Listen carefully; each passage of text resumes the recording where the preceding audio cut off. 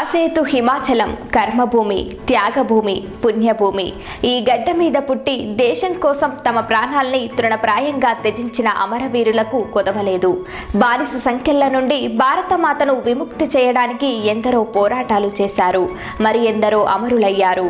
పోరాడితే పోయేదేమీ లేదు. బానిస సంఖ్యలు తప్ప అంటూ కదం తొక్కారు. తెల్లదొర్ల దాస్య శృంఖలాల నుండి భారతమాతను విడిపించారు.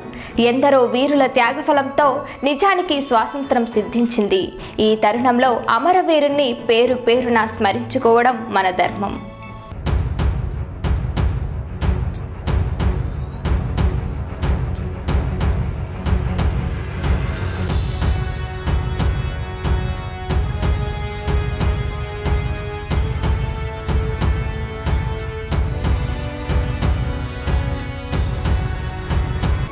రవి అస్తమించని బ్రిటిష్ సామ్రాజ్యంలో రెండు దశాబ్దాల పాటు భారతావని నలిగిపోయింది.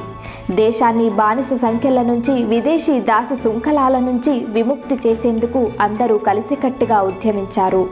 నులుగు మీసాల నవయువకుల నుండి వృద్ధుల దాకా అంతా స్వేచ్ఛ వాయువుల కోసం పరితపించారు. ఆ క్రమంలో తమ ప్రాణాలను తృణప్రాయంగా త్యజించారు. వారి త్యాగఫలమే నేటి భారతావని. స్వాతంత్ర పోరాటంలో కొందరు విప్లవ మార్గాన్ని ఎంచుకుంటే మరికొందరు శాంతి మార్గంలో స్వాతంత్ర సాధనకు పూనుకున్నారు. సుభాష్ చంద్రబోస్ భగత్ సింగ్ లాలా లజపతిరాయ్ అల్లూరి సీతారామరాజు వంటి నాయకులు తిరుగుబాటుతోటే దేశాన్ని బానిస సంఖ్యల ద్వారా విముక్తి చేయొచ్చని భావించారు. వారు నమ్ముకున్న బాటలోనే భారతమాత సంఖ్యలు విడిపించే క్రమంలో అమరులయ్యారు. ఉరికంబాలను ముద్దాడి భారతమాత ముద్దు బిడ్డలుగా ఖ్యాతికి ఎక్కారు. దేశానికి స్వాతంత్రం తీసుకువచ్చేందుకు మహాత్మా గాంధీ చూపిన బాట నేడు యావత్ ప్రపంచానికే ఒక దిశ నిర్దేశమయ్యింది అహింసాయుతంగా శాంతి బాటలో బాపూజీ సాగిన తీరు తెల్లవారిని వెనక్కి తగ్గేలా చేసింది.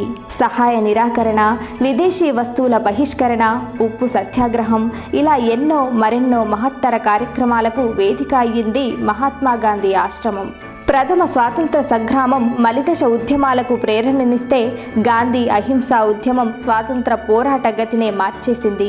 ఈ నేపథ్యంలో దేశ స్వాతంత్ర దినోత్సవ అమరుల త్యాగాలను స్మరించుకుంటూ దేశభక్తితో ముందుకు సాగడమే భారత జాతి యువశక్తి ముందున్న కర్తవ్యం. కుల మత ప్రాంతీయ భేదాలను పక్కన పెట్టి భారతావని అభివృద్ధికి అందరం పునరంకితం అవుదాం